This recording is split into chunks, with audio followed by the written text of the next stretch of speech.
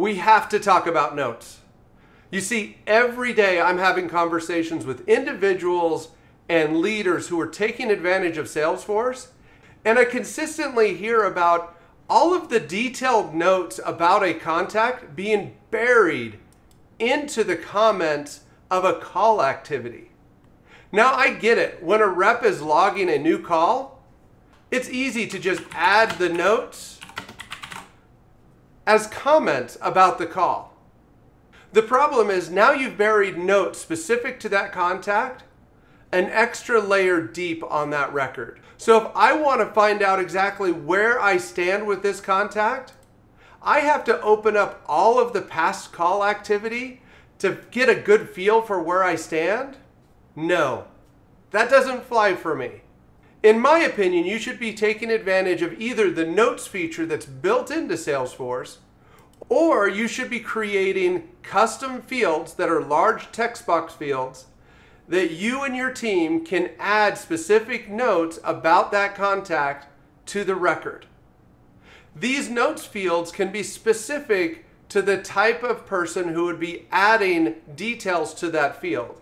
Like, for example, you might have an SDR notes field that the SDR team uses to update notes on that record.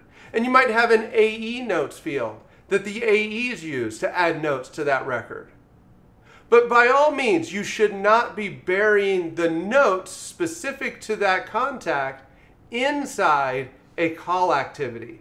And of course, here at PhoneBurner, we got your back. No matter where your team is putting their notes, we're going to make it extremely easy for your reps to see that information when they're in a dial session. If you're taking advantage of large text box fields, those can easily be added to a layout and made visible during a dial session if you're using the notes feature?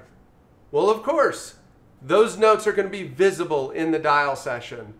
And if your team has been adding their notes to the details of a call, they will be able to view those notes during a dial session. But by all means, please stop adding detailed notes about the contact inside a call activity.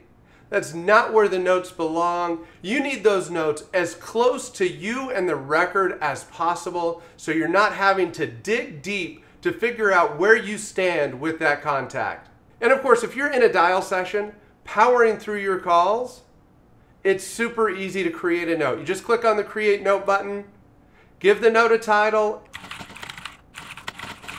and a body, and then save it.